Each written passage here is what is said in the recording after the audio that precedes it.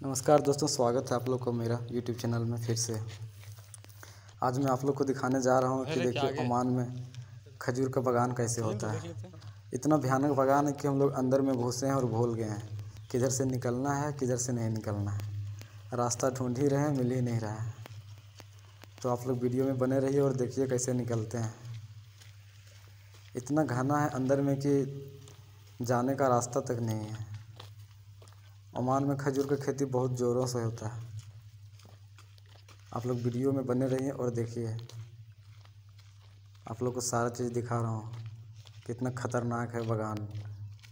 अभी सारा खजूर तोड़ लिया गया है इसीलिए दिखाई नहीं दिया है। इस सब का सीज़न चलता है। अब निकाल लिया फिर से नया उगेगा। निकाल लिया सब। तो आप लोग वीडियो में बने रहिए। मतलब और आप लोग अगर मेरा वीडियो में नहीं है तो प्लीज़ मेरा चैनल को सब्सक्राइब कीजिए और हमको सपोर्ट कीजिए। थैंक यू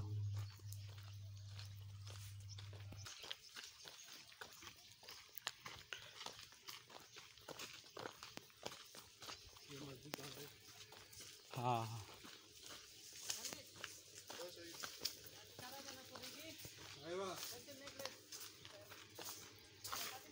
लीजिए।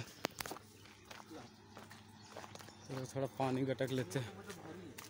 किसका? लीजिए मारिए ये चाबी तो नहीं चाबी। ठीक है।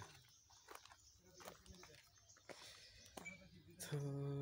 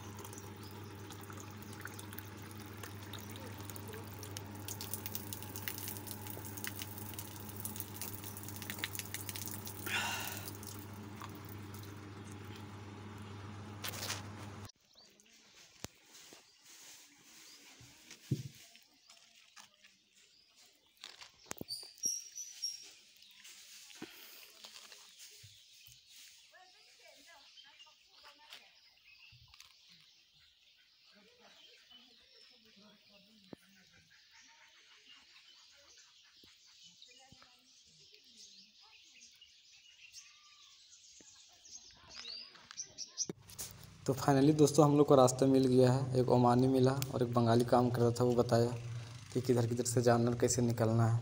इतना घना था कि बहुत दिक्कत हो रहा था निकलने में।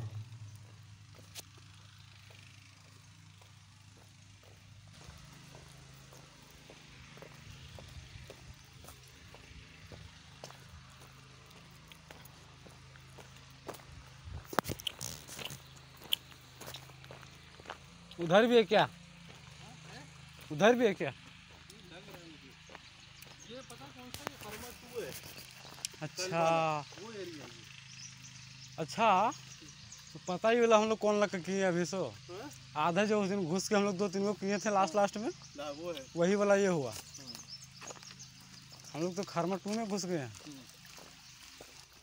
दरअसल हम लोग बागान के अंदर में बिजली का मीटर ढूंढ रहे थे और ढूंढते ढूंढते बहुत अंदर निकल गए जिसके कारण रास्ता भूल गए हैं। इसीलिए थोड़ा निकलने में दिक्कत हो रहा है। वही हम सोच रहे हैं कि आपके साथ इधर हम कभी नहीं आए हैं करने के लिए। क्योंकि वही मस्जिद वाला करते थे आके। क्या कि इधर आते थे तो ये खरमा से आते थे ना करना।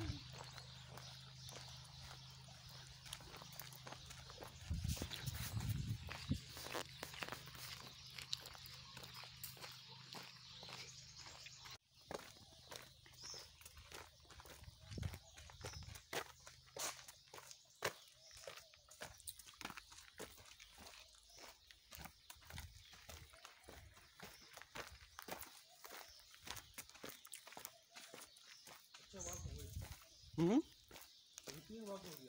हाँ। एक्सरसाइज